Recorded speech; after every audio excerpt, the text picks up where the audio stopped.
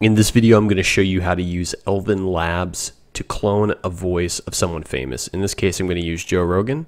What I'm going to do is I'm going to steal a video of him talking and get a very short clip of it because the file size you need over here has to actually be very small. So what you do is you go in here, you have to have a subscription to do this.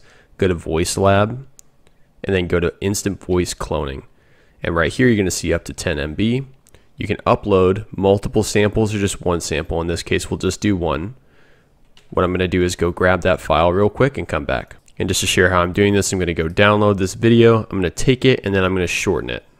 Just going to use a quick uh, video downloader right here. Grab that.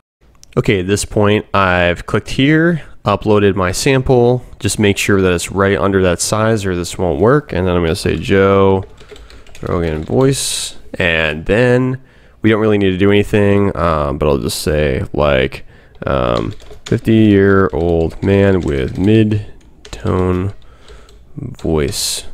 Okay, I don't really know how important that is.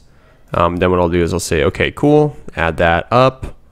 Um, and then from here, I'll have the Joe Rogan voice. I can click use, right?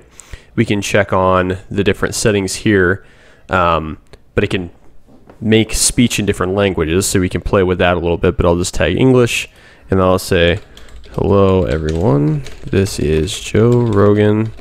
I have a very successful podcast. Okay, and then I'll just generate that, and then when that plays... Hello everyone, this is Joe Rogan. I have a very successful podcast.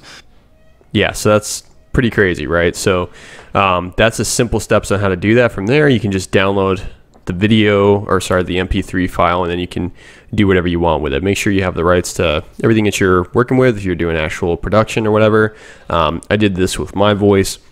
It was really quick, um, really easy, and it was uh, shocking how how fast this works out. So I hope this video was helpful to you. If you like this, drop a uh, comment and hit that like button. Appreciate it. Bye.